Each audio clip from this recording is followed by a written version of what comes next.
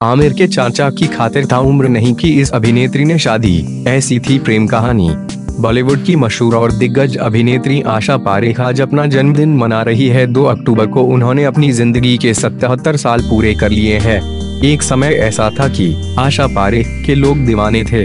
उनकी दीवानगी ऐसी कि दर्शक उनकी हर एक फ़िल्म को काफ़ी ज़्यादा पसंद करते हैं। आशा पारेख ने अपने बॉलीवुड करियर के दौरान कई फ़िल्मों में काम किया है, जिसमें ज़्यादातर सुपरहिट है।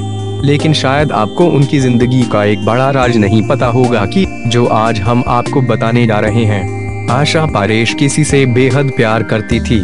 बॉलीवुड की दिग्गज अभिनेत्री आशा पारेख ने कभी शादी नहीं की थी, लेकिन उनके ज़िंदगी में कोई था जिससे वो बेहद प्यार करती है, जिनके इसकी चर्चाएँ हुई है।